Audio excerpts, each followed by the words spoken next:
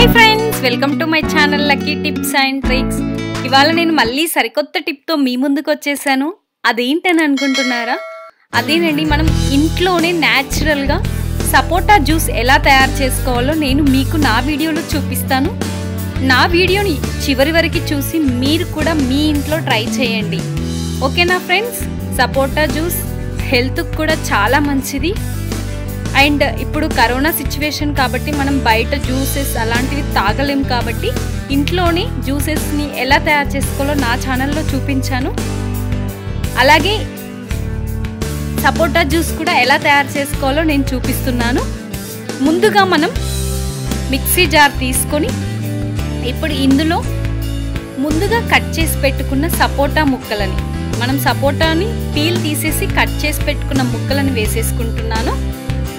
So ఇప్పుడు ఇందులో కొంచెం షుగర్ యాడ్ చేసుకుంటున్నాను. షుగర్ అనేది ఆప్షనల్ అండి.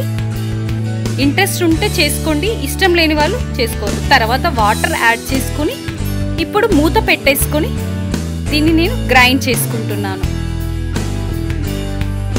మనం మెత్తగా గ్రైండ్ చేసుకోవాలి. ఎందుకంటే జ్యూస్ కాబట్టి మనకి కొంచెం మెత్తగా ఉంటేనే మనకి టేస్ట్ కూడా మంచిగా ఉంటుంది. ఇలా మెత్తగా టూ త్రీ టైమ్స్ మనం గ్రైండ్ చేసుకోవాలి. బాగా. ఆల్మోస్ట్ గ్రైండ్ అయిపోయింది కదా చూసేద్దామా? వావ్. జ్యూస్ రెడీ అయిపోయింది చూసారు కదా? వావ్ ఆల్మోస్ట్ జ్యూస్ రెడీ అయిపోయిందండి. ఇప్పుడు తీసేసి దీన్ని మనం ఇప్పుడు ఒక గ్లాస్ తీసుకుని ఇందులో ముందుగా ఇందాక గ్రైండ్ చేసుకున్న జ్యూస్ని పోసుకుంటున్నాను.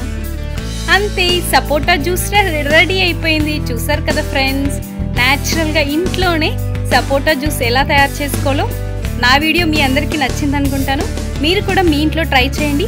అలాగే నా వీడియో కనుక మీకు నచ్చినట్టయితే లైక్ అండ్ షేర్ చేయండి. ఇప్పటి వరకు నా ఛానల్ సబ్స్క్రైబ్ చేసుకొని వాళ్ళు వెంటనే సబ్స్క్రైబ్ చేసుకొని పక్కనే ఉన్న గంట సింబల్ని కూడా కొట్టేసేయండి.